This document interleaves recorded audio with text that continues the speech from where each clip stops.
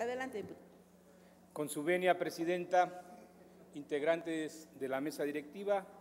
compañeras y compañeros legisladores, público que hoy nos acompaña, medios de comunicación. Hoy subo a esta tribuna a presentar una iniciativa en términos del artículo 51, fracción segunda, de la Ley Suprema del Estado, así como el artículo 28, fracción primera de, la, de su reglamento. Los que suscriben el documento, la diputada Araceli Casasola Salazar, la compañera Claudia González Cerón y el de la voz, diputado Omar Ortega Álvarez, venimos a presentar una iniciativa que tiene como fin decretar, derogar, perdón, tiene como fin adicionar una, un inciso C al artículo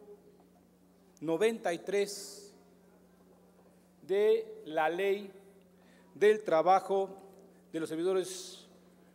del Estado y municipios, así como la modificación a la fracción 19 del mismo artículo 23 y la adición de una fracción 7 o séptima al artículo 95 de la misma ley del trabajo de los servidores públicos del Estado y municipios. Esta propuesta que presentamos el día de hoy tiene como objeto regular el acoso laboral. Si bien es cierto, ya en este mismo artículo 93 se ve el término de acoso sexual como hostigamiento sexual, no incluye el acoso laboral que en otras latitudes se conoce con el nombre de booming, que no es otra cosa más que el, acaso, el acoso laboral, psicológico, moral que tienen los trabajadores al servicio del Estado y del municipio. ¿En qué consiste esta propuesta? Primero es en diferenciar de manera clara lo que se conoce como acoso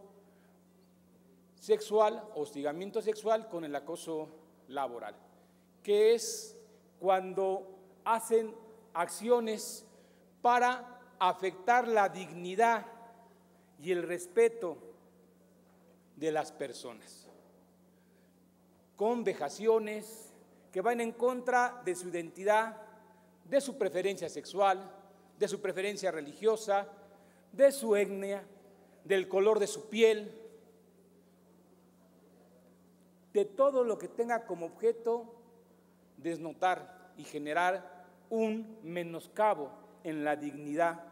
de las personas. Eso lo podemos ver de tres maneras muy claras. Lo que se conoce como el acoso horizontal, que es entre los mismos compañeros de trabajo del mismo nivel. El acoso vertical descendiente, que tiene que ver donde el mayor jerárquico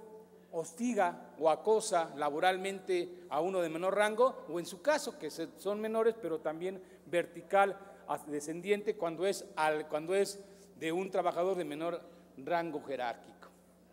Y esta, la intención es muy simple, si es necesario rescindir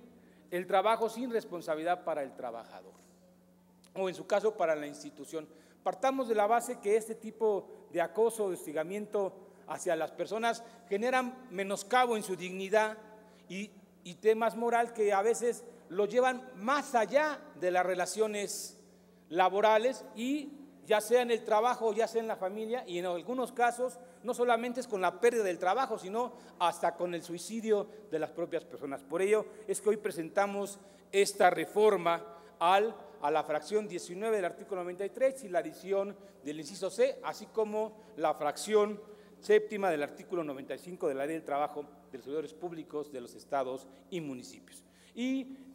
en razón de tiempo solicito Presidenta, que se integre íntegra esta versión en el diario de los debates. Es cuanto.